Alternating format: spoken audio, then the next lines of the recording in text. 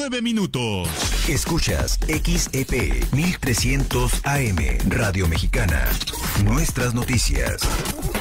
40.000 watts de potencia, transmitiendo desde Avenida Vicente Guerrero 2329. Colonia Partido Romero, Ciudad Juárez, Chihuahua, Radio Mexicana. Nuestras noticias. Una estación de Radiorama. Radio Mexicana, nuestras noticias, presenta. La reforma fiscal 2014 generó El más de daños. en- beneficios para la frontera. La formalidad de las empresas es una tarea La economía americana avanza La proveeduría maquilador sigue siendo el La gran concentración de poder de mercado en México. La transparencia gubernamental continúa No es nada personal. Nada personal. Son solo negocios. Solo Negocios Radio. Las mejores entrevistas y análisis para lograr una toma de decisiones adecuada. Contáctenos. Correo electrónico. Correo arroba solonegocios.mx. Página de internet. www.solonegocios.mx. Facebook. www.facebook.com diagonal solonegocios mx. Twitter. Arroba solo negocios. Y recuerde, no es nada personal, son solo negocios. Buenas tardes, tengan todos ustedes. Mi nombre es Alejandro Sandoval. Esto es Solo Negocios Radio, transmitiendo a través de 1300 de amplitud modulada, al igual que por internet en Radio Mexicana, nuestras noticias 1300 AM, el fanpage de Facebook de nuestra estación, y de la misma forma en el fanpage de Solo Negocios. Es facebook.com, diagonal Solo Negocios MX. Además, ahí se resguarda todo, eh, pues los videos que, que tenemos aquí con la, con la webcam y programas de esta estación de radio. Y bueno, pues vamos a platicar de la política monetaria. En esta posición le pusimos entre comillas al título agresiva y nos preguntamos qué sigue, ¿no? El, el, miércoles este, tuvimos ah, las previsiones de lo que podría pasar con eh, la decisión de Banco de México. Se logra un aumento de 75 puntos base sobre la idea de lo que eh, se discutía, que, que tenía que ser mínimo ese alcance para, al menos en la visión de la prima de riesgo, empatar relativamente los alcances de lo que fuese el movimiento de tasa de referencia de la Reserva Federal la semana pasada. Y bueno, pues por supuesto también se trae como consecuencia este las implicaciones de costo de dinero, ¿no? O sea, las tasas de interés suben y, entonces ah, pues el dinero cuesta más caro, ¿no? Eh, en ese sentido, ah, pues el asunto no es exclusivo de México. Y la política pública que, o la herramienta de política pública con la que cuenta un banco central, en mucho tiene que ver con el, el- costo del dinero, la tasa de interés. Es, es difícil pensar en, en otras de, de similar valor. Digo, hay otras herramientas, el mismo hecho de la compra de bonos, como lo hace Estados Unidos o Europa, y, esto aporta liquidez a la economía. O, por ejemplo, este, el tema en México que usamos de las reservas internacionales, que en su momento cuando hay un excedente pues, se venden. Eh, se, se usó durante, ¿qué sería? De 2010 a 2016. Hubo periodos en los que más o menos se vendían dólares eh, de esas reservas para tratar de evitar una problemática eh, tipo cambiaria. Y luego, por otro lado, eh, está el caso concreto de el mecanismo que adoptaron posteriormente, que es como una especie de subasta en donde realmente te liquidan en pesos, pero la venta de esos dólares. Y entonces, sobre todo porque al principio empezó a abusarse de- en la especulación de la presunción y avisos que daba Banco de México de cuando se movían esos dólares. Y entonces pues se, se especulaba y no servía realmente para el objetivo central de defender el tipo de cambio. Y en su caso, ya cuando hicieron las, las subastas, las cosas funcionaron mucho mejor. Entonces era una mecánica ahí extra, ¿no? Entonces así hay otras herramientas que cada gobierno le asigna por medio de su legislativo y su estructura constitucional eh, facultades a las bancas centrales. En el caso mexicano, la principal y, y- y la- y- que además no tiene muchos años, en realidad se usa desde el 2008, es la tasa de interés esta que subieron de 7 a 7.75%.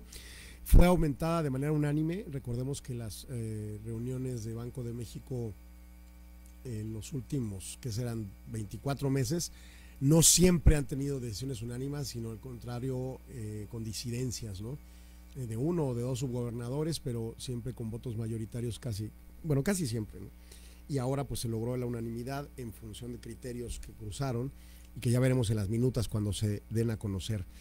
El Banco de México señala en su boletín que bueno, pues los indicadores hablan de una desaceleración hacia el segundo trimestre. La inflación global sigue aumentando, en algunos lugares con registros máximos históricos. Eh, hay cuellos de botella todavía que son origen del asunto. Hay recuperación de la demanda en ciertos lugares del planeta. Hay precios en alimentos y energéticos que se están inflacionando y bueno, pues obviamente provoca que se den expectativas de que el estímulo monetario que se brinda a través de las herramientas que acabo de citar por los bancos centrales, bajando el costo del dinero, inyectando recursos a la economía, etcétera, pues básicamente se ve que van a bajar. Y esas expectativas que si bien van algunas partes del mercado común, llamémosle, también está el mercado especulativo alrededor de. y en su caso, bueno, pues todo esto provoca que las condiciones financieras tengan un apretamiento, y empiecen una alzada de tasas de interés de todo tipo, se fortalezca el dólar, que en consecuencia cuando el dólar está fuerte, la moneda mexicana está débil, eh, perdón, está, sí, se deprecie, perdón, y, lo vimos, ¿no? En días pasados, como de repente nos llegamos a pegar hacia los 21 pesos por dólar desde los 19, y luego volvimos a regresar eh, eh, una vez confirmada la toma de decisión del Banco de México el día de ayer. Eh, los riesgos globales destacan fundamentalmente la pandemia, no se ha acabado, estamos en una quinta ola, México tiene sus implicaciones, probablemente con los mm, mm, muchos elementos mucho más bajos de riesgo que se puedan tener, pero al final del día, eh, cierto, ¿no? O sea, allí hay, hay, hay, una condicionante que nos puede restringir la movilidad económica alrededor de la pandemia. Está la prolongación de presiones inflacionarias que, no solo existen, ya no se consideran para nada temporales y al contrario se considera que va a durar un tiempo más estas presiones. Las tensiones geopolíticas que también terminan provocando, por ejemplo, algo inesperado en principio como la guerra entre Rusia y Ucrania, pero que en su caso pues trae paralelo este otro tipo de riesgos geopolíticos como en el mundo árabe o en Taiwán o en algunas regiones africanas que todavía no tienen un impacto globalizante relevante, pero que pues finalmente puede traer tema, ¿no? Eh, y también en las regiones, digo, el hecho de que creo que es Nicaragua quien acepta algunas tropas rusas, pues obviamente genera presiones en el continente americano. Entonces ahí están riesgos geopolíticos, ¿no? Y los ajustes a las condiciones generales de la economía, las monetarias en particular y las financieras en consecuencia, pues son eh, elementos que tendremos que estar analizando, son parte de la balanza de los riesgos a, verificar. El tipo de cambio tiene un comportamiento ordenado, con ciertos movimientos eh, erráticos, por supuesto, pero se concibe que la, que la actividad económica en este segundo trimestre va a mantenerse, quizá debilitada respecto al primero, pero este segundo trimestre deberá mantenerse. O sea, abril y mayo ya tenemos datos de coyuntura de varios este, alcances y, pues hablan de, mantener ¿no? la posición. Quizá debilitarse un poco, pero para nada un escenario de un decrecimiento económico. Y en su caso, con ciertas condiciones de holgura, habrá de evaluar la disminución o la o la perspectiva de una desaceleración hacia adelante, pero en ningún momento se prevé con esta información existente que venga un escenario recesivo. Los choques inflacionarios derivados de la pandemia eh, se añaden las presiones que generan también, por ejemplo, los temas de confinamiento en China. Y bueno, pues en la primera quincena de junio la inflación que se reportó más temprano del momento en que se emitió este boletín, en 7.88% la general, 7.47% la subyacente, que presumiblemente, recordemos, la inflación subyacente es aquella que sí es influible por la política monetaria y que pues no está haciendo mucho, ¿verdad? Este, las expectativas de 2022 y 2023 se vuelven a incrementar y además incrementaron muchísimo, ahorita vamos a ellas, y ahí vamos a irnos en la secuencia de qué es lo que sigue, ¿no? Y en su caso, pues a mediano y largo plazo la inflación general aumenta ligeramente para la subyacente con cierta estabilidad. Ante presiones inflacionarias mayores a las anticipadas, el pronóstico se revisa al alza para el tercer trimestre de 2023 y el de subyacente se ajusta al alza para todo el horizonte. hay convergencia prevista para el primer trimestre de 2024. ¿Qué significa eso? Lograr llegar a la meta de inflación de 3%, ¿no? Pero está fundado al alza con riesgos, persistencia de la inflación subyacente, inflación derivada de la pandemia, presiones sobre precios agropecuarios y energéticos por los conflictos geopolíticos, depreciación cambiaria, presiones en los costos y que riesgos que se va concibiendo que van bajando, la disminución de la intensidad del conflicto bélico, mejor funcionamiento de las cadenas de suministro, un efecto mayor esperado eh, en la brecha negativa de producto, un efecto mayor esperado el paquete contra la inflación y la carestía. O sea, si esas cosas ocurrieran, bajarían las presiones inflacionarias, ¿no? El balance de riesgo respecto a la trayectoria para la inflación es sesgado al alza. El gobierno, la Junta de Gobierno del banco evalúa todos estos elementos y sus riesgos y considera mayores retos para la conducción de la política monetaria ante el apretamiento de las condiciones financieras globales, incertidumbre en el contexto, presiones inflacionarias del, del conflicto geopolítico de Rusia y Ucrania y los temas de COVID-19 en China, así como mayores afectaciones generales a la inflación. Con base a eso, toma la decisión de subir 75 puntos base a 7.75% la tasa de interés interbancaria a un día y en base a ello, pues se ajusta la política monetaria para que la, la trayectoria inflacionaria converja hacia el 3%. Eh, el objetivo de la tasa, se insiste, es 3% y en, si, en su caso las siguientes decisiones, el banco va a seguir aumentando la tasa de referencia y valor, valorar conforme lo requiera el mercado. Entonces, ¿qué pasó con las expectativas? La inflación está en 7.88% para el primer quincena de junio. Eh, para el 9 de julio, que nos reportan inflación de junio completo, también podremos evaluar cuál es la inflación trimestral, pero la expectativa del banco es que sea 7.8%. El banco considera que julio, agosto y septiembre tendría presiones inflacionarias que nos llevarían todavía un poco más alto a 8.1 y luego empezar a bajar hacia el cuarto trimestre a 7.5. Primer trimestre de 2023 6.5, cuarto perdón, segundo trimestre de 2023 4.4% y llegar al rango, convergencia hacia rango todavía no convergencia plena, eh, tercer trimestre 3.5% cuarto trimestre 3.2% y entonces el primer trimestre de 2024 llegar a 3.1% en la concepción de una convergencia. ¿sí? El problema con estos datos no solo es eh, que pues está lejos, ¿verdad? En el primer trimestre de 2024. O sea, en el diario acontecer de nuestras vidas, pues está complicado porque estamos hablando de que va a ser continuo el aumento de precios a un ritmo de una tasa de 7.5% promedio en todo el año, o poquito más y luego empezar a bajar durante 2023, pero no llegar a bajar de manera sustancial y llegar finalmente a bajar hasta el 3%. Ojo aquí con el lenguaje, es bien importante esto que digo. Cuando la inflación sube a un ritmo de, por ejemplo, 7.8% segundo trimestre de 2022, en este momento que estamos viendo, pues pasa lo que estamos viendo en los precios en la calle, ¿no? Pero si el mes siguiente vuelve a subir en, una perspectiva anualizada a ese 7.5, pues las presiones continúan. Eso venimos viviéndolo desde el, pico máximo, creo que empezó como en octubre más o menos. Este, realmente, sí, octubre, noviembre, diciembre.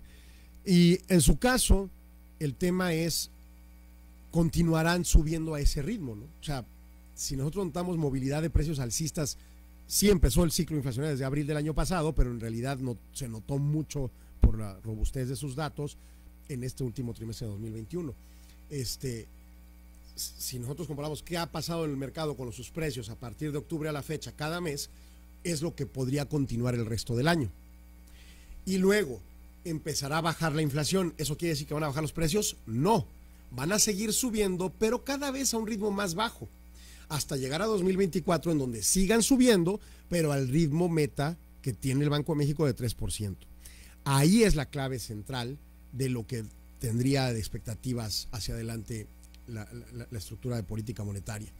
Y en punto en concreto es que si suben los precios, al bajar la inflación no bajan los precios en principio, se mantienen subiendo, pero cada vez a un ángulo más bajo, menos inflación.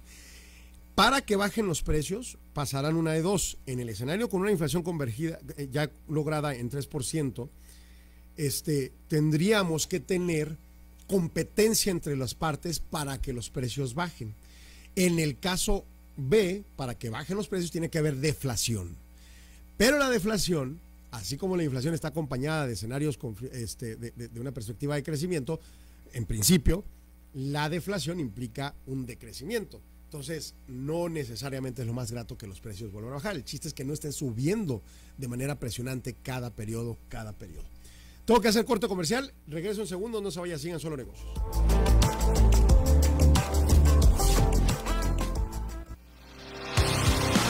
Regresamos, no se vaya. Continúe en Radio Mexicana 1300 AM con Solo Negocios Radio. Son las 4 con 15 minutos. Raticida, gasolina, ácido sulfúrico, amoníaco, acetona. No importa qué droga química te metas, todas están hechas con veneno y de todas formas te destruyes. La sangre de las drogas nos mancha a todos. Mejor métete esto en la cabeza. Si te drogas, te dañas. Si necesitas ayuda, llama a la línea de la vida. 800-911-2000. Para vivir feliz, no necesitas meterte nada. La COFESE trabaja para que exista competencia, porque cuando las empresas compiten, tienes más opciones para elegir lo que te convenga. Para hacer ejercicio desde casa, yo uso una página que tiene rutinas gratis. A mí me gusta la aplicación que tiene los entrenamientos más duros. Yo prefiero visitar el sitio con ejercicios personalizados para mi nivel. Con competencia, tú eliges. Un México mejor es competencia de todos. Comisión Federal de Competencia Económica. Visita cofese.mx. A ese coche se lo llevó el agua. En temporada de lluvias hay que tomar precauciones. Nunca cruzar la corriente en una inundación. Y prepararse por los deslaves y desbordamientos. Consulta los pronósticos del Servicio Meteorológico Nacional. Ten una mochila de emergencia. Agua potable. Protege tus documentos. Y hazle caso a las alertas de protección civil. Esta temporada de lluvias y ciclones, juntos nos protegemos mejor. La Conagua y el Servicio Meteorológico Nacional te informan por tu seguridad. Gobierno de México. Radio Mexicana, nuestras noticias 1300 AM, ahora es la radio oficial de los indios de Juárez de Béisbol. Y te invita a que sigas las acciones de la temporada 2022 con la crónica de Alfonso Danzagorta y un gran equipo. En el 2022 los indios de Juárez están en la radio oficial, Radio Mexicana, nuestras noticias 1300 AM y va por Juárez.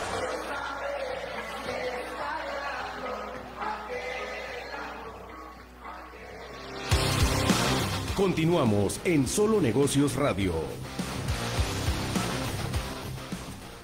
Continuamos en un segmento Solo Negocios Radio y bueno, uno de los puntos este, importantes que destacan este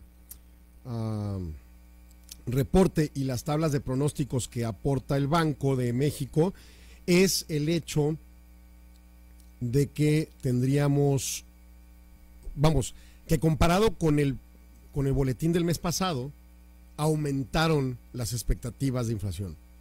Por ejemplo, el mes pasado se creía que el cuarto trimestre de 2022, o sea, a finales de este año, estaríamos en 6.4%. Bueno, ahora conciben que vamos a estar en 7.5%. O sea, es un aumento de 11 décimas, este, a mí me a mí parece, o sea, de 110 puntos base, a mi parecer sumamente alto, o sea, es muchísima más inflación, ¿sí?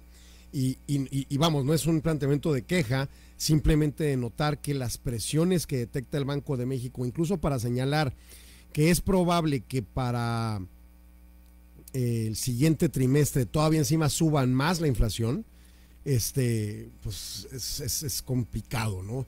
Porque ordinariamente se concibe que una entidad gubernamental no va a ser pesimista en su planteamiento y digo, eso pues, lo muestran siempre los gobiernos ejecutivos. Sin embargo, aquí con la seriedad de su función y de su trabajo, el banco determina, ¿sabes qué? No, las cosas sí están complicadas y pueden complicarse un poco más hacia adelante y después eh, ya podremos evaluar un escenario de convergencia, ¿no? Entonces, en esa lógica, desde mi punto de vista, pues eh, el banco es acertado en ser transparente en su perspectiva en función de pues, que destaca un pesimismo en el tema, ¿no? En su caso, eh, la subyacente, por ejemplo, se espera, eh, se esperaba hace un mes en 5.9% para el cierre del año y ahora es 6.8% y entonces ahí está la marca de la pauta, ¿no? Eh, se concibe que no, no se tiene grandes elementos de gravedad al contexto de un problema en la, en la no subyacente relevante, sino más bien en la, en la subyacente, en la parte de mercancías específicamente, y entendiendo que mucho de ello está vinculado a las importaciones, que pudieran empezar a bajar más rápido si se tuviera mayor efecto en la Fed de su alcance de eh, imposición de tasa alzada, que fue fuerte la semana pasada, pero que, bueno, pues iremos viendo cómo se comportan esos productos de exportación, que en muchos son los que importamos en México, en una parte al menos, ¿no? Y bueno, pues entonces ese es el contexto de lo que resuelve el Banco de México. La Reserva Federal, solo como recapitulación, la semana pasada toma la determinación de subir en 75 puntos base su tasa para un rango de 1.5 a 1.75 y es un alza bastante fuerte que no se había visto un momento de esos desde el 94 y también se decidió por mayoría ya que hubo al menos un miembro que votó por eh, una alza de solo 20, eh, perdón, 50 puntos base. Entonces, en esa lógica, bueno, pues ahí la información y las expectativas del de, la Banca Central de Estados Unidos es que, por ejemplo, la inflación, tendencia central, mediana, la inflación de este 2022 cierre en 5.2% de Estados Unidos desde el 8 y fracción que tienen actualmente 2.6 hacia 2023 y logre su convergencia en 2024, igual que México, con su diferencia de, estructuras, ¿no? O sea, eh, Estados Unidos tiene una meta de 2%, México de 3%, eh, Estados Unidos es un país mucho más bancarizado, tiene más efectos la, la política monetaria en, su población que eh, lo que hace y logra México. este, Estados Unidos tiene una economía 10 veces más grande o más que México. Entonces, todas esas concepciones tomadas en cuenta el planteamiento de la Fed es lograr convergencia hacia 2024, ¿no? Eh, podríamos decir, le va a ser más complicado porque está más lejos de la meta, pero tiene más capacidad para lograrlo. A México le va a ser un poco menos complicado, pero tiene menos capacidad para lograrlo. Entonces, por eso creo yo que se puede concebir que los dos países lleguen a convergencia hasta 2024. Este, para esta perspectiva también aumentan sus pronósticos y, esos aumentos de pronósticos pues llevan a un escenario de que también hay una previsión pesimista en los siguientes meses propiamente. La Fed anunció también paralelamente su calendario tentativo el próximo año y es importante esto porque pues es cuando se toman determinaciones que mueven mercados y sobre todo los especulativos y que provocan acciones o condiciones. O sea, si usted quiere saber en qué momentos del próximo 2023 va a haber eh, inestabilidad en los mercados o al menos algo de especulación, pues es días antes o semanas antes de estas fechas. Enero 31, marzo 21, bueno, es, la fecha, ellos siempre tienen una junta de dos días. Entonces es este 31 y primero y demás, ¿no? Enero 31, digo nada más el primer día, marzo 21, mayo 2, junio 13, julio 25, septiembre 19, octubre 31, diciembre 12 y, e incluso el 30 de enero del 2024. Entonces, todas estas son las reuniones del próximo año que son importantes tener detectadas en un calendario para el empresario y saber en qué momento los tipos de cambio se pueden presionar hacia un lado o hacia el otro, en qué momentos eh, puede haber movimientos en las tasas de interés para los efectos de sus, tasas, de, sus eh, financiamientos, etcétera, etcétera. Y finalmente, la Unión Europea hago alusión a esto en base a que desde el 9 de junio tomó su decisión de política monetaria Dice, la inflación alta está siendo un mayor reto para nosotros. El, Consejo de Gobierno de la Unión del Banco Central Europeo va a buscar su meta inflacionaria de 2% en, en, en, el mediano plazo, es lo que señala. En mayo la inflación volvió a subir significativamente, fundamentalmente por temas energéticos y de alimentos, más que nada por la guerra. Las presiones inflacionarias se han amplificado y han intensificado los precios de muchos bienes y servicios están subiendo constantemente. En el sistema del euro se revisa la proyección de inflación hacia el alza de manera significativa, igual que lo que acabo de señalar que hizo México y que hizo la, Fed, ¿no? Eh, estas proyecciones indican que la inflación va a mantenerse alta por algún tiempo, moderándose en costos energéticos y conforme las cadenas, eh, los cuellos de botella en las cadenas de suministro se disminuyan, o la pandemia también provoque una disminución de la necesidad de cuarentenas, podría entrar un escenario de normalización de la política monetaria y, entonces pues lograr que baje la inflación. Eh, las proyecciones plantean que para el año 2022 en Europa tendrán 6.8% de inflación, cuando se tenía eh, luego para 2023 3.5 y para 2024 2.1, igualito, convergencia en 2024 y, no es partido político, ¿eh? convergencia monetaria. Este, esto significa que la inflación principal para el final de la proyección está eh, básicamente por encima de, ligeramente por encima de la meta, o sea, 2.1 cuando es 2, y con ello lograr esa convergencia. Pero aumentaron, este, aumentaron respecto a las expectativas pasadas. O sea, de nuevo lo mismo 2022 está viendo hace un año mucho más inflacionado de lo que se pensaba antes, escenario pesimista, y luego empezar en 2023 a ver que vaya eh, logrando convergencia. Eh, obviamente señalan a Rusia con sus agresiones injustificadas hacia Ucrania, que provocan mucho peso contrario o negativo en la economía europea. Eh, está provocando conflictos en el comercio, este, escasez de productos o de suministros, y contribuye a los altos precios tanto de la energía como de los commodities. Estos factores continuarán generando peso y afectando la confianza tanto en el consumidor como en el empresario en el corto plazo. Las condiciones están para que siga habiendo crecimiento con la reapertura económica, con fuerte mercado laboral, con apoyo fiscal eh, que se ha logrado eh, y los ahorros que se lograron en la época de la pandemia. Este, la actividad económica se espera que se reactive cuando estos diferentes elementos negativos vayan cediendo.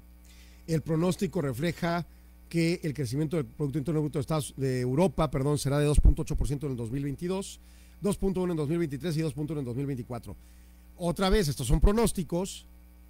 Quien, quien está aduciendo a esta posible recesión magnánima y destructiva que viene, pues obviamente estarían en desacuerdo y hablaría de, escenarios negativos, ¿verdad? Para futuro.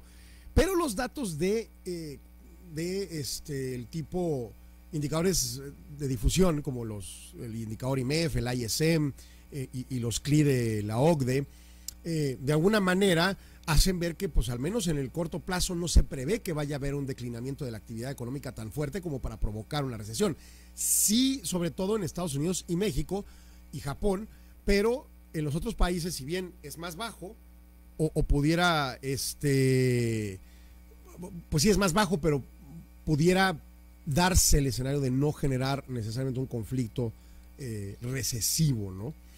Y bueno, pues este, las tasas de interés de la, de la Banco Central Europeo eh, hace la concepción para iniciar al mes de julio una movilidad de 25 puntos base al alza. Ellos están en 0% su tasa. Entonces se irían a 0.25 este, en este primer movimiento siguiente que es en el mes de julio. ¿Por qué lo avisan así? Bueno, cada banco opera diferente. Eh, Jonathan Gil nos ha platicado sobre la intencionalidad de ser cada vez más transparente por los bancos, eh, poniendo los nombres de quienes votan en qué sentido, los razonamientos que expresan, los análisis que hacen y deducen. y esto con un objetivo de que esa transparencia como un, un pilar central de una economía libre mercado permee en toda la política monetaria. Bueno, hay países más avanzados y, en, algunas políticas de este tipo, este, este término desde que estaba, desde que entra HIT y, Esquivel en enero del 19, empiezan varios cambios en la manera de hacer los boletines, de tener estas eh, este, tablas de pronósticos, etcétera, y de poner los nombres de las personas en, no esperarse hasta minutas este, pues va dando pauta de un escenario de modificación hacia la transparencia. Pero el punto en concreto es que este, la, Unión Europea, bueno, el Banco Central Europeo, plantea qué es lo que podría ser el siguiente mes. Entonces también acota a la especulación. Claro, pueden cambiar de opinión, pueden cambiar los escenarios decir, no, pues tienen que subirse 75 puntos base. Y quién sabe si no de repente sientan la presión desde Estados Unidos. La economía europea no está tan integrada a la economía de Estados Unidos como México, por ejemplo, pero sí tiene un peso importante en sus relaciones comerciales. Y entonces en esa lógica podría haber influencia y entonces este 25 base se quede corto con respecto a la posibilidad de que de repente les suban 50 base. Pero también allá los impactos son más certeros de la tasa de interés porque está más bancarizada la gente. Y entonces en esa tesitura, pues este, tendríamos la circunstancia específica de este, pues, tener una, una situación uh, más dañina si suben demasiado la tasa en Unión Europea, ¿no? Como se ha presumido en Estados Unidos. Pero bueno, tengo que hacer corte comercial, regreso en segundo, no se vaya, sigan solo negocios. Son las 4 con 30 minutos. Escuchas XEP 1300 AM Radio Mexicana. Nuestras noticias. 40.000 watts de potencia. Radio Mexicana. Nuestras noticias. Una estación de Radiorama. ¿Qué es valioso para ti? Son mis hijos, la familia, mi esposa, que tengan salud. El respeto hacia los demás, la justicia, la legalidad. No hay nada más valioso para mí que ser libre, libre para elegir. El INE es valioso para México porque no puede existir la libertad sin la democracia. Para mí, nuestro INE es valioso porque representa la democracia y vivir en libertad. Pero sobre todo, mi INE es valioso para México porque nuestro INE nos une.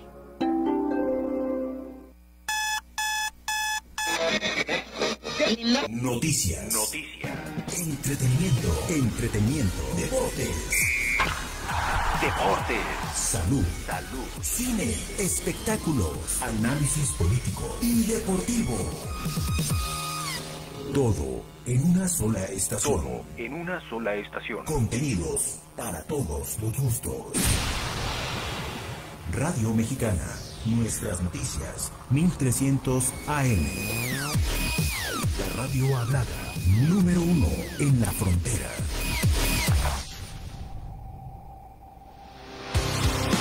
Continuamos en Solo Negocios Radio.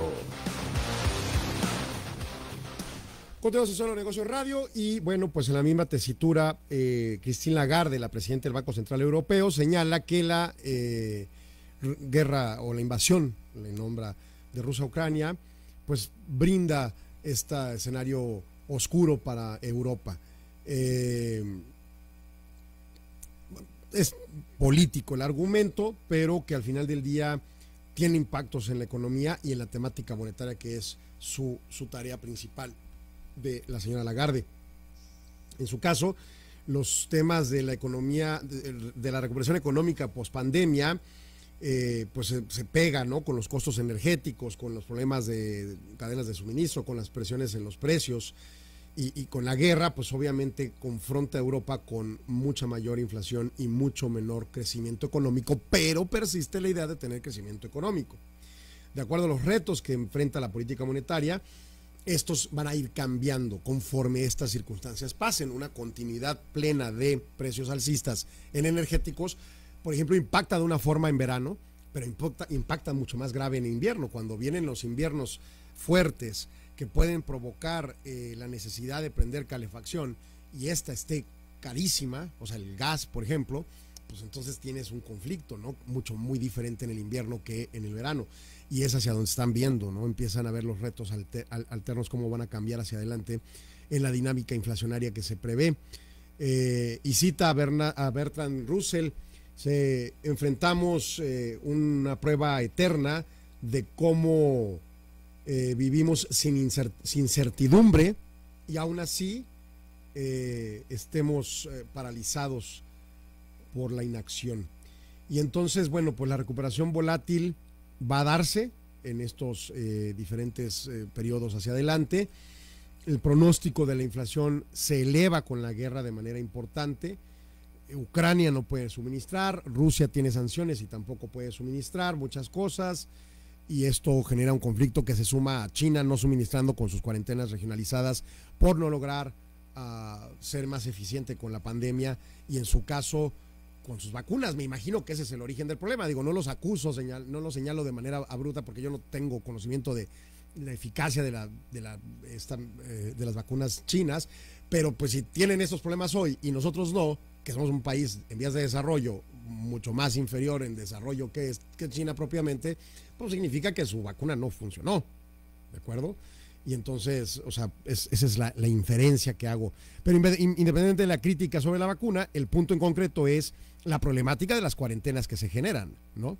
Bueno, ¿qué más? El Banco Internacional de Pagos, presidido por Agustín Carcens, eh, pues habla de en su pronóstico anual, un documento que, emiten anualmente, que lo acaban de emitir el 21 de junio, tiene como propósito destacar cómo desde el Banco Internacional de Pagos el banco de los bancos centrales, que son los bancos de los bancos en cada país, pues entonces es como un banco muy importante. Ahora, el, que sea el banco de los bancos centrales e, es un decir porque no tiene un manejo de dinero propiamente, sino genera líneas de investigación económica y políticas como las de Basilea III, eh, este, que rigen hoy en día el sistema financiero global. ¿no?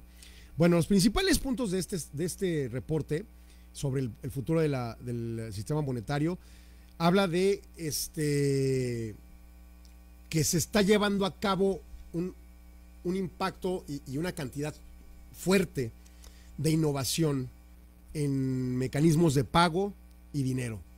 Sea, el tema de las criptomonedas, el tema de las fintechs, el tema de la banca y su evolución, ¿no? Y entonces se ve un sistema monetario digital a futuro que se adapta continuamente para servir los intereses públicos. Y aquí voy a hacer un comercialote. El próximo miércoles va a estar con nosotros David Becker eh, Feldman, quien es presidente de la Asociación de Bancos de México, y con quien vamos a platicar precisamente de cómo la banca funge al desarrollo económico de un país como en este caso México. Y en esa tesitura platicaremos de este tipo de temas, estos retos que tiene la banca hacia adelante, como este tema de un sistema monetario digital. Eh, los problemas estructurales que han hecho el universo de las criptos no funcional como una base del sistema monetario, porque no tiene un anclaje nominal, o sea, el tema de que esté anclado al oro, al dólar, al trigo, a lo que sea, ¿verdad? O sea, es, es completamente este, eh, fiat money, ¿no? O sea, dinero de buena fe. Pero tengo una crítica al respecto, sin embargo, bueno, pues ahorita la comento, ¿no?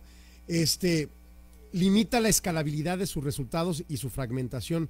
Contrario a la, a la narrativa de que es descentralizado y que no hay un banco de gobierno atrás de él que le manipula y demás, lo cierto es que hay intermediarios que tienen influencia en el manejo de las criptomonedas y esto provoca riesgos financieros que en otrora, con una entidad regulada como un banco central, no pasaría. Se supone. Un sistema de banco central ofrece bases para la innovación y para asegurarse estabilidad e interoperabilidad en los servicios de entre bancos, ¿no? O entre instituciones financieras y por ende beneficiando al, usuario. Eh, esto domésticamente y entre fronteras. Digo, nada más el sistema este de, de los, bueno, en México los SPACE internamente o los TEF para transferencias o para el exterior eh, los SWIFT codes, ¿no? Las transferencias SWIFT o ABAS que permiten transferencias internacionales en cuestión de un par de horas máximo, ¿no? Eh, este sistema puede sostener un ciclo virtuoso de, de, confianza y adaptabilidad en las redes, en los efectos de las redes entre esas instituciones financieras. Las nuevas capacidades como programabilidad, composición, tokenización, no son los elementos que van a preservar a la criptomoneda. Es más fácil que un banco central pueda crear estas monedas digitales de bancos centrales, mecanismos de, eficientes de pagos y este, las ah, arquitecturas de centros de datos ¿no? que manejan. Y todo eso lo desarrolla en este escrito. Hoy en día una tarea central del Banco Internacional de Pagos es trabajar de cómo crear estas monedas digitales de bancos centrales. O sea, el, yo no sé si sea funcional, pero esto es lo que podría pasar. Tendríamos los pesos, como los conocemos, o sea, billetes y monedas, o en nuestra cuenta bancaria transfiriéndolos, o tendríamos peso digital, que sería otra moneda con otra valoración y en su caso tendría una movilidad exclusivamente digital. ¿Se ve lejano México? En principio sí, pero la permeabilidad de las telecomunicaciones y la capacidad de tener un teléfono inteligente de la población cada vez es mayor y entonces abre la puerta a estos esquemas. De eso podríamos platicar también entonces con eh, Daniel Becker el próximo miércoles en el programa de radio. Y luego, bueno, finalmente eh, es importante comentar el contexto hacia lo que está haciendo también el Banco, eh, perdón, el Fondo Monetario Internacional, que también tiene una gestión sobre la temática de política monetaria, en donde reconoce pues, que la dominancia del dólar y la elevación de, de, monedas de reserva no tradicionales, pues persiste ciertamente la dominancia del dólar pierde cierto piso, pero no lo está perdiendo todo. O sea, cuando hablan de este escenario catastrófico que Estados Unidos ya va a perder su lugar de la primera economía del mundo, ya el dólar no va a servir para nada y se va a acabar el universo para los estadounidenses, es completamente falso. Al menos con la información vigente de toda la estructura económica estadounidense y su impacto con el planeta, sigue siendo una economía fundamental para el planeta y su moneda también lo es. En esas tesituras señala el fondo que el dólar estadounidense ha tenido un rol eh, en los mercados globales fundamental por mucho tiempo y continúa haciéndolo conforme la economía estadounidense produce o incluso si disminuye su tamaño en la participación global en las últimas dos décadas. Pero mientras eh, se tenga presencia en el comercio global, en las deudas internacionales, en los préstamos no bancarios, pues sigue teniendo una importancia relevante en la emisión de bonos, en la estructura de acciones del, eh, eh, eh, este, del comercio en Estados Unidos, en los préstamos internacionales y por lo tanto, bueno, pues los bancos centrales no pueden deshacerse de sus reservas de dólares. Tienen relevancia fundamental, ¿no? Como, bueno, muestran un gráfico en esta página, en la composición de, de divisas, dice las divisas no tradicionales están jugando un papel cada vez más activo en el, en el, en el uh, sistema internacional de divisas o, o, global en los años recientes. Por ejemplo, hablamos de 1999, el 70% de las divisas 71 más o menos estaban basadas en dólares, el, eh, que es cuando nace el euro, el 19% en euros, eh, por ahí del 7% en yenes, y un 5% las libras esterlinas y en su caso un 4 o 3% las demás divisas. Hoy en día el dólar de 70 baja a 59%, pero 21 años después, o sea, no está cayendo en picada ni mucho menos, ¿no? 21 años después sigue teniendo un peso relevante mayoritario, 60%, ¿no? El euro de estar en 19% está en 21, o sea, su aumento de participación es, es, es marginal. El yen de estar en ese 8 baja a 6, una ligera disminución. El libra esterlina está en 5, igual que hace 21 años. Y las otras que estuvieran en 4 han subido a 10. O sea, han tenido más permeabilidad y ese es un tema que le pasa al tipo de cambio mexicano. La moneda mexicana tiene una usabilidad global impresionante para mecanismos de traspaso en las transacciones internacionales y por supuesto en las, en las especulaciones. ¿no? Entonces, en esa lógica, pues tenemos esa, esa estructura de participación monetaria a nivel global y esto tiene impacto de cuánto implica los 75 puntos base que subieron la tasa los estadounidenses la semana pasada a monedas como la mexicana, a monedas como las centroamericanas o latinoamericanas en general o el resto del planeta. Y por eso la posibilidad de que el Banco Central Europeo sí suba los 25 puntos base en la próxima junta ahora en julio, pero no necesariamente fuerza 25 y en una de esas suba hasta 50. ¿De acuerdo?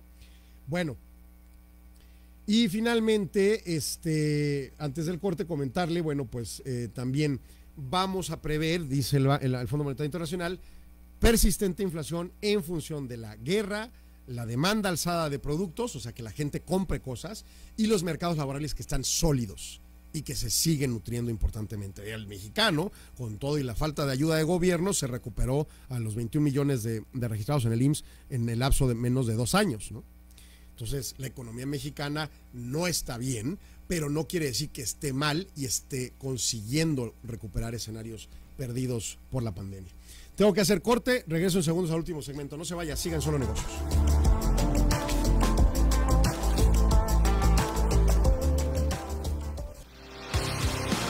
Regresamos, no se vaya.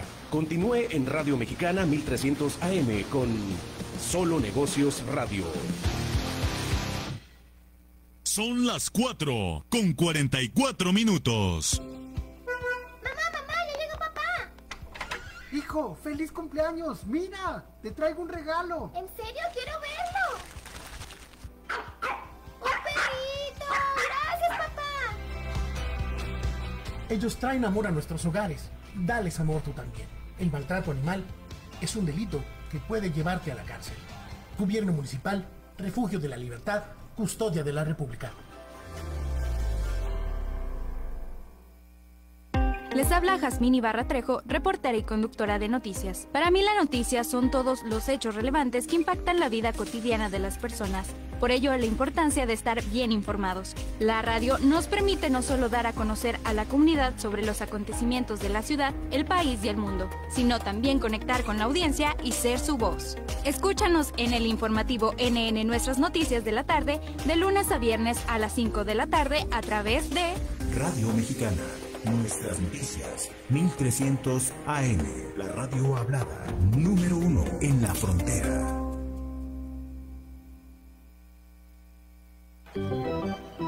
En el béisbol, los indios de Juárez están en Radio Mexicana, nuestras noticias en el 1300 AM. Hola amigos, te saluda Guillermo Armenta, manager de los Indios de Juárez, y te invito para que sigas toda la temporada de Indios de Juárez a través de la mejor Radio Mexicana, nuestras noticias en el 1300 de AM y recuerda, va por Juárez, somos indios.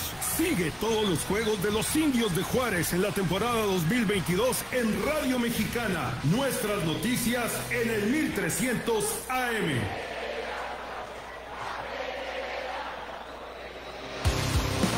Continuamos en Solo Negocios Radio. Continuamos en Solo Negocios Radio, último segmento. Y bueno, pues dice el Fondo Monetario Internacional que las expectativas de inflación se aumentan en función de las presiones que genera la guerra. Eh, por ejemplo, en cuanto a tendencias inflacionarias, índice de precio de consumo, promedio móvil de tres semanas y el porcentaje anualizado, dice que para las economías emergentes, se esperaba una inflación, se espera una inflación que se ha elevado, se ha proyectado de una manera absurda eh, verticalmente, ¿no? O sea, podemos decir en un plano cartesiano como de 43 grados, que cuando es de 45, o sea, así casi, casi completamente elevada. Desde más o menos este, inicios de este año,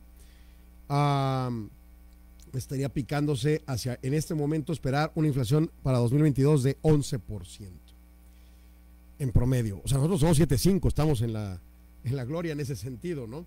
Y las economías avanzadas andarían alrededor del 6.3%, donde obviamente hay países con más gravedad, como Estados Unidos en 8.5%, pero eh, hay países con menos inflación, como Japón, ¿no?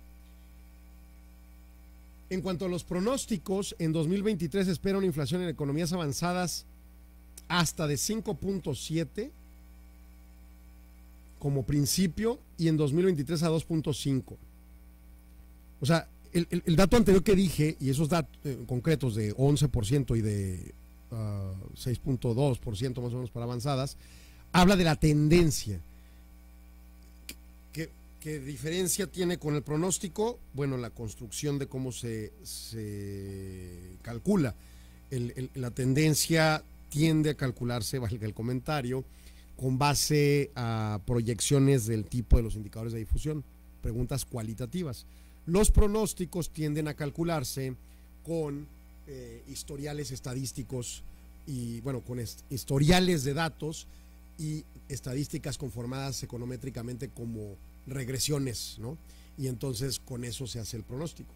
Bueno, el pronóstico de economías avanzadas ronda hacia 5.7% para el 2022, el promedio de 2023 2.5%. O sea, sí se va a ver una presión fuerte en 2022 y un al, aligeramiento importante en 2023. En eh, economías en desarrollo, como la mexicana, tendríamos hacia 8.7% en el 2022 y hacia 6.5% en 2023, teniendo menos recuperación las naciones en desarrollo que las desarrolladas. Pero, obviamente, si ya individualizamos, como lo hicimos al principio del programa, con la Fed, por ejemplo, pues la Fed lo ve diferente, ¿no? Para el caso concreto de Estados Unidos. Aquí hablamos de una aglomeración de naciones desarrolladas y en vías de desarrollo. Cuatro factores eh, van a tener relevancia alrededor de este pronóstico. El agravamiento de la guerra, que tiene impacto en precios de, commodities. Eh, energía y alimentos que ayudan a elevar la inflación el año pasado, eh, con los eh, suministros de petróleo y gas estrechos después de ah, la, la, focalizada inversión y la incertidumbre geopolítica. Esto es el principal conductor de inflación en Europa y en cierta medida en Estados Unidos. Los altos precios de alimentos también tienen un factor principal en la mayoría de los países en desarrollo, como lo tiene también la problemática de los climas extremos y en su caso los elevados costos de hidrocarburos y fertilizantes. Segundo factor, la demanda subió mucho el año pasado gracias al apoyo a las políticas de apoyo fiscal y monetario que se dieron a partir de la pandemia y los cuellos de botella crecieron con las cierres de, fábricas, las restricciones portuarias, las congestiones eh, de cargo, eh, las disminuciones de contenedores y las ausentismo de trabajadores. La inflación creció como resultado especialmente donde las recuperaciones fueron más fuertes y ese es un punto clave. Estados Unidos le metió muchísimo dinero fiscal y el soporte monetario a su economía y creció la capacidad de demanda importantemente. Y eso trajo más consecuencias inflacionarias, ¿no?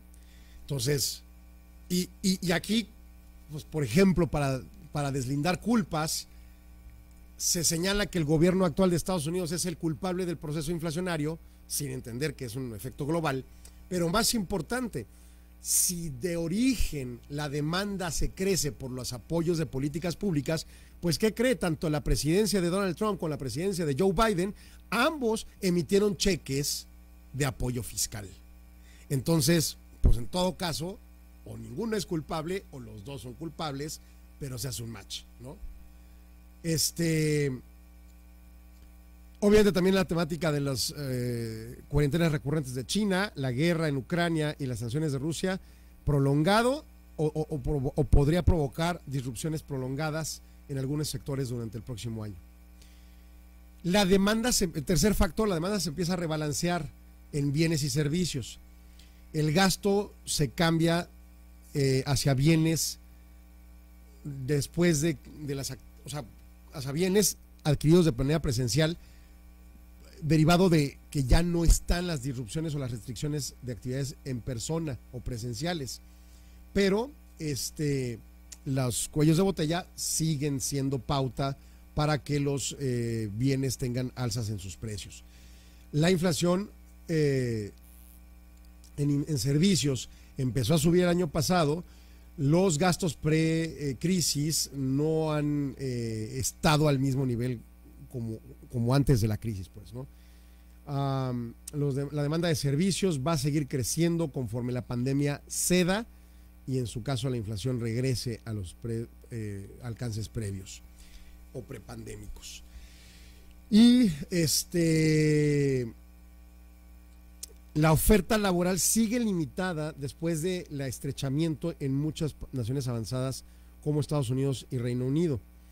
La limitante o las ausencias de trabajadores, más que ausencias, las, eh, la falta de trabajadores, eh, sobre todo en industrias de mano de obra intensiva y contacto intensivo, elevan los sueldos.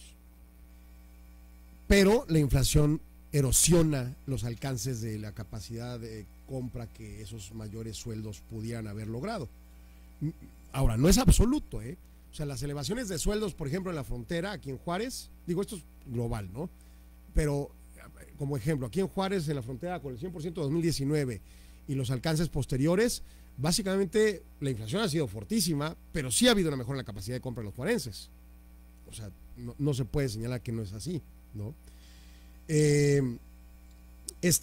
escenario este, cambia eh, los escenarios de retiro pronto o temprano, pues las pensiones, y el temor de los empresarios, de los empleados de regresar a trabajar cuando tienen un contexto eh, de incertidumbre para regresar con el tema de la pandemia, ¿no?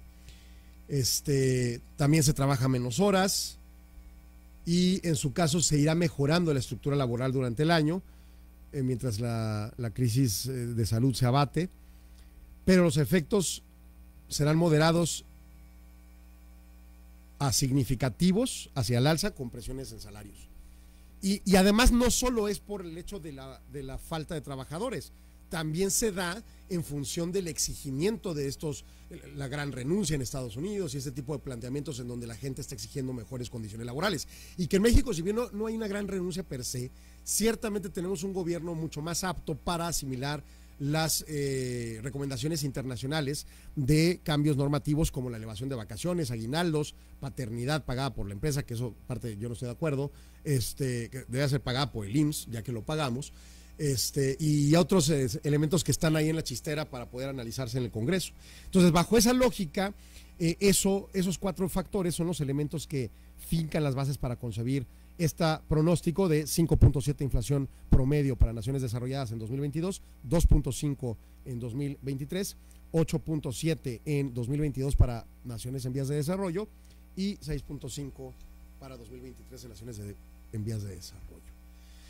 Y bueno, pues básicamente eh, ante eso, pues tenemos esta semana, por ejemplo, determinaciones eh, índice de precios, échale ojo, ¿no? IPP, o sea, el, IPP de México, último de mayo, este fue 10% más o menos, ¿no? Como 10 a 12.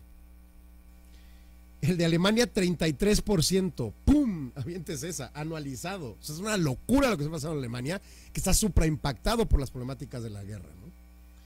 Este, precios de viviendas nuevas en Canadá sube 0.5%. Eh, inflación eh, subyacente, inflación anual en, Gran Bretaña, 9.1%. Este, zona del euro todavía no está lista. Inflación de Canadá, 7.7%. a México, pues 7.88% lo traemos. Japón 2.5%, cuando Japón siempre se la vive en deflación. Brasil 12.04%. Está grueso el asunto, ¿no?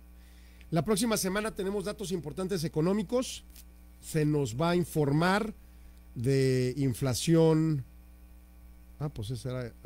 No, no me está poniendo el, el de la próxima semana. Próxima semana, a ver, ahí está. Próxima semana tenemos inflación de importación alemana, una comparecencia de Lagarde donde se hablará de lo que va a hacer en julio la reserva, indicador de viviendas en Estados Unidos y inflación en España, eh, ¿qué más? Inflación anual alemana, que es ya es la de consumidor, que se espera 7.9. Este México, que no, Estados Unidos tercer rubro de Producto Interno Bruto primer trimestre y pues los indicadores mexicanos relativos a maquila, este, ¿cómo se llama el otro? Minero metalúrgica, entre otros. Pero bueno, y ya nada más para cerrar el programa, como le digo, eh, tenemos en entrevista a, a, Daniel Becker Feldman este próximo miércoles. Vamos a hablar de la banca, del peso de la banca en el desarrollo económico mexicano, de los retos, de cómo ellos en la Asociación de Bancos de México evalúan el contexto económico y las circunstancias sociales y las circunstancias climáticas, lo que viene en financiamiento, échale mucho ojo al tema de las EASG, de las políticas ambientales, sociales y gobernanza, que también estaremos teniendo otras entrevistas sobre esos tópicos específicos hacia adelante, porque es crucial que vaya haciendo sus estructuras de políticas internas. Oye, yo ni contamino, pues pero con que cambies focos a ahorradores, con que uses módulos solares como una práctica hacia adelante que tengamos que fungir, con que busques modificación de máquinas que sean ineficientes por más eficientes en el consumo eléctrico, etcétera, eso será una pauta de política que puedas ejercer. Las de equidad para el tema social contra grupos vulnerables, fundamental. Oye, que son acciones afirmativas que, que, que desincentivan la competencia. En un principio se necesitan. Puedo estar de acuerdo con los argumentos en contra de acción afirmativa, siempre y cuando comprendamos que hoy por hoy es algo que se requiere. Bueno, se nos acabó el programa. Pase usted un excelente fin de semana. Nos escuchamos el lunes en punto de las 4 con Memo Soria y por supuesto el miércoles aquí con el señor Daniel Becker Feldman. Muchas gracias Arturo. Hasta pronto.